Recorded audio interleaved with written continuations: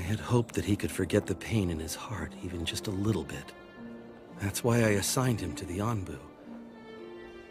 But based on the rumors that I've heard about him lately, I'm afraid that I might have just made his wounds deeper.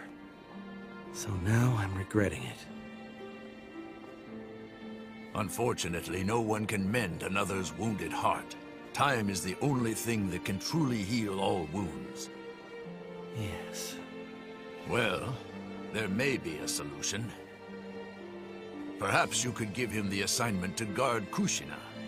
If he leaves his Anbu duties to watch over someone who's about to bring a new life into the world, perhaps it will trigger a change in him.